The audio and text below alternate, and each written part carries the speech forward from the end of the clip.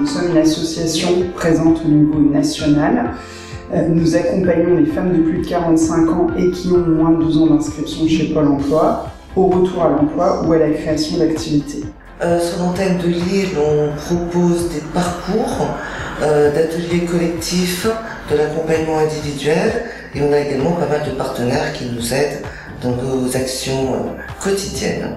On a quand même sur l'île 70 bénévoles qui tous les jours accompagnent nos candidates et leur donnent de l'énergie. Et c'est aussi une association très joyeuse et très dynamisante.